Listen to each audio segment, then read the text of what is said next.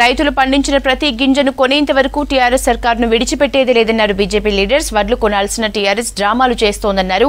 వడ్లు కొనకుంటే కేసీఆర్ సీఎం కుర్చీ నుంచి దిగిపోవాలన్నారు. రాష్ట్ర సర్కార్ వడ్లు కొనాలంటూ ఇవాళ ఇందిరా పార్క్ దగ్గర నిరసన తెలపనున్నారు ఆ పార్టీ లీడర్లు.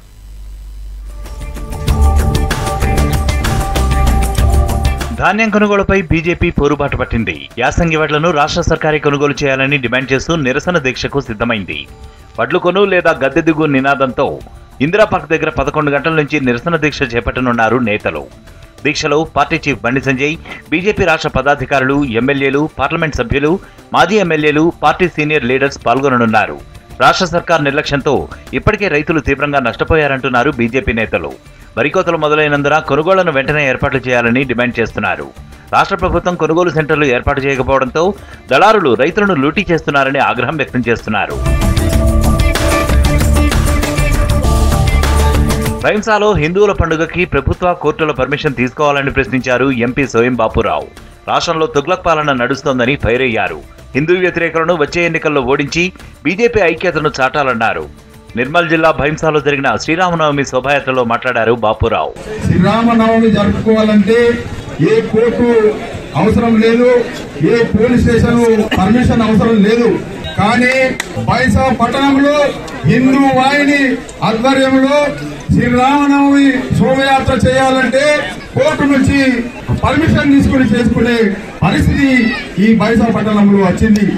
అంటే హిందువుల మీద ఎంత దౌర్జన్యం జరుగుతున్నదో ఈ బయటపడడం వల్లనే మనకు అర్థమవుతుంది. కరీంనగర్ జిల్లాలో మహాశక్తి ఆలయంలో జరిగిన శ్రీరామనవమి వేడుకల్లో BJP state chief Bandi Sanjay పాల్గొన్నారు.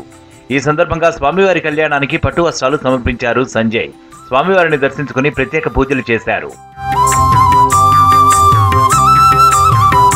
రంగారెడ్డి జిల్లా కందుకూరు మండలం తిమ్మాపూర్ గ్రామంలో శ్రీరామనవమి వేడుకలు అంగరంగ వైభవంగా జరిగాయి.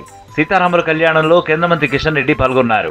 స్వామివారిని దర్శించుకుని ప్రత్యేక పూజలు చేశారు. హిందువులందరూ కూడా శ్రీరామనవమి సందర్భంగా సీతారామ కళ్యోత్సవ కళ్యాణ మహోత్సవాన్ని అనేక ప్రాంతాలలో కొన్ని లక్షల గ్రామాలలో కళ్యాణ ఉత్సవాలు జరుగుతూ ఉన్నాయి. ఈరోజు దేశవ్యాప్తంగా కూడా శ్రీరామనవమి ఊరేగింపు కూడా పెద్ద ఎత్తున యువకులు నిర్వహిస్తున్నారు. మోటార్ సైకిల్ యాత్రలు కానీ ఇతరత్ర ఈరోజు చాలా శుభదినము. ఈరోజు ప్రజలందరూ కూడా ఐక్యమత్యంతో భక్తిని చాటుకునేటువంటి ప్రయత్నం చేస్తా ఉన్నారు. జగిత్యాల జిల్లా మెట్పల్లి రామాలయం మల్లాపూర్ మండలంలోని వాల్గొండ శ్రీ రామలింగేశ్వర స్వామి ఆలయంలో సీతారాముల కళ్యాణంలో పాల్గొన్నారు బీజేపీ ఎంపీ అరవింద్. స్వామివారికి ప్రత్యేక పూజలు చేశారు. పూర్ణకుంభంతో స్వాగతం పలికారు ఆలయ అర్చకులు. భక్తులు పెద్ద సంఖ్యలో పాల్గొని స్వామివారిని దర్శించుకున్నారు.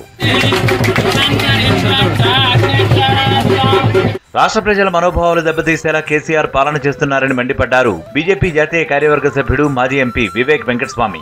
ఎనిమిదేళ్ళ టీఆర్ఎస్ పాలనలో కేసీఆర్ కుటుంబమే లబ్ధి పొందిందన్నారు. మంచిర్యాల జిల్లాలో జరిగిన శ్రీరామనవమి ఉత్సవాల్లో వివేక్ పాల్గొన్నారు.